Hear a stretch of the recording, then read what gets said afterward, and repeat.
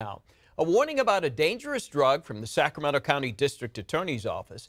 They say deaths from fentanyl have spiked recently, and now they're pushing even more to get the word out about how to save lives. ABC 10's Zach Fuentes now at the state capitol. An event is going to be held tomorrow to help get the word out. Zach?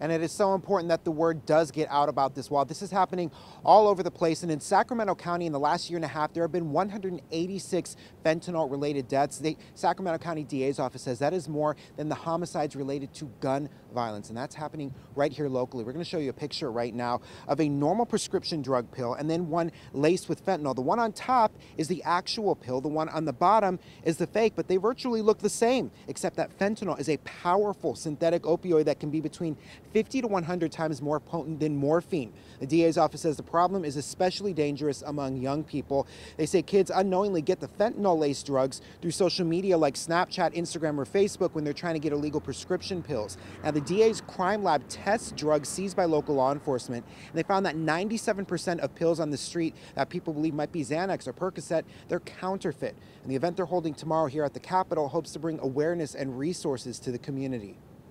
We're going to bring in medical professionals and service providers. They're going to do a demonstration on Narcan and how to administer Narcan. And we're going to give away Narcan. And for those who don't know, Narcan is um, a essentially an antidote to fentanyl poisoning, and it can save lives.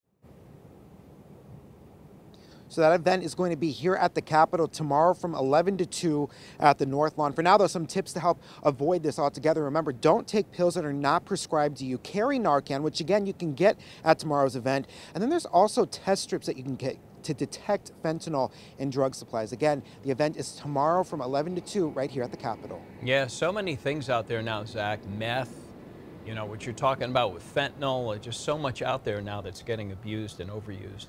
All right, Zach, good stuff. Uh, we'll see what happens tomorrow.